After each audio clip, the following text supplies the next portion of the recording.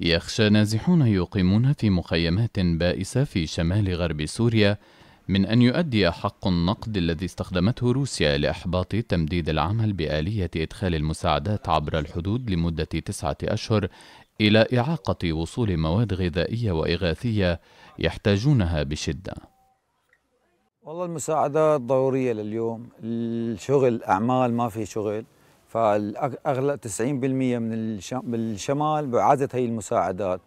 وروسيا يعني فوق ما إنه هاجرتنا وساعدت الطاغية بشار الأسد على قصف المدن وقرانا وبلادنا وهجرتنا لهون. لا كمان عم تحاربنا سياسيا بلقمة العيش بالمساعدات.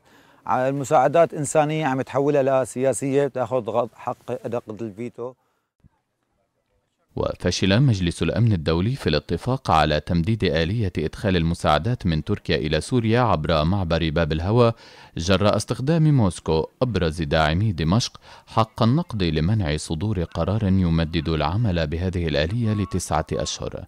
والآلية التي انتهت مفاعيلها الاثنين كانت تسمح بإيصال مساعدات يستفيد منها مليونان وسبعمائة ألف شخص شهرياً. شخص بدون مساعدات مستحيل إنه يستمر إذا عنده أطفال. والله لو ما عنده أطفال مستحيل يستمر. ويشكل باب الهوى شريانا حيويا لدخول المساعدات إلى أكثر من أربعة ملايين شخص.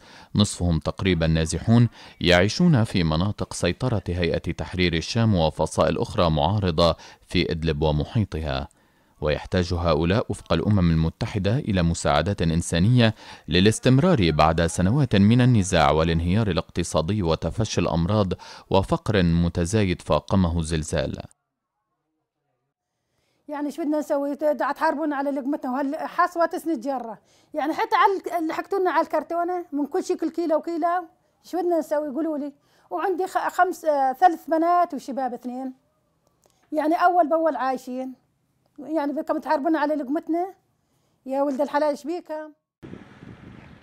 ويهدد عدم تجديد الآلية مصير المساعدات إلى مناطق في إدلب ومحيطها من دون أن يعني توقفها على المدى القريب مع تخزين الأمم المتحدة مساعدات في المنطقة من جهة واستمرار العمل بمعبرين آخرين سمحت دمشق بفتحهما إثر الزلزال ويستمر العمل بهما حتى منتصف آب أغسطس.